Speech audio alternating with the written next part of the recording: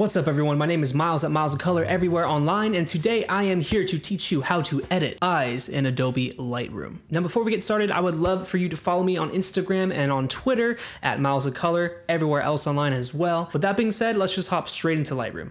Alright guys, so now we are in here in Lightroom and we're going to be editing the eyes of my friend Karisma at Karisma Collins everywhere online, I believe.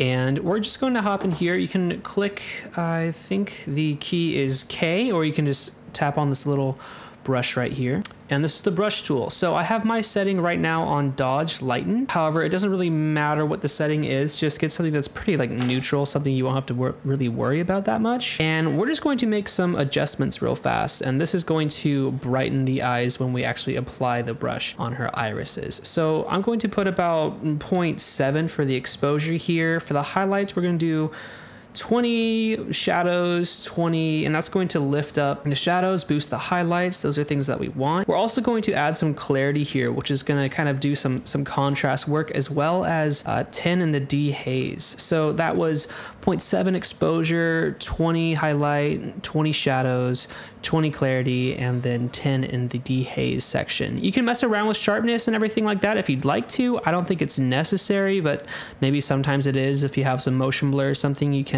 add some sharpness to the eyes and hopefully get them to be a little sharper. And then I have my feather and my flow at 100, density at 100, and the brush size we might change a little bit. Yeah, so to change the brush size, I'm going to scroll my mouse down or up that adjusts the size of the brush and this looks good to me. So I'm going to paint let's see, just around her eyes right here. And I'm not using like a any type of pad or pen right now. So I'm doing it all by mouse. And you can kind of see the effects happening right now. Just to be sure of what I'm painting, I'm going to click Show Selected Mask Overlay. Boom. You could click O as well. I believe that shows it. Yeah, there we go.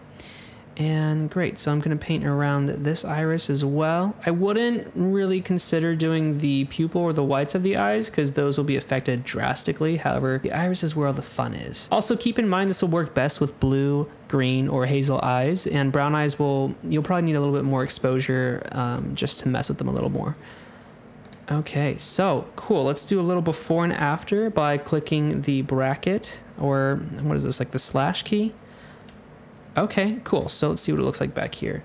Nice. So it looks like we have like a reflector right here. Bring in this catch light like all the way up to her eyes here. And I think it looks really good. Of course, the whole photo isn't edited yet, but I like to start with my eyes and my exposure settings just to get a good idea of where the photo can go. We can also go in here and save this brush. So you can scroll all the way down here and save current settings as new preset. And let's just call this miles of eyes boom, there we have it, our new Miles of Eyes adjustment. And yeah, now you guys can remember, uh, you know, who helped you, who helped you with this little trick.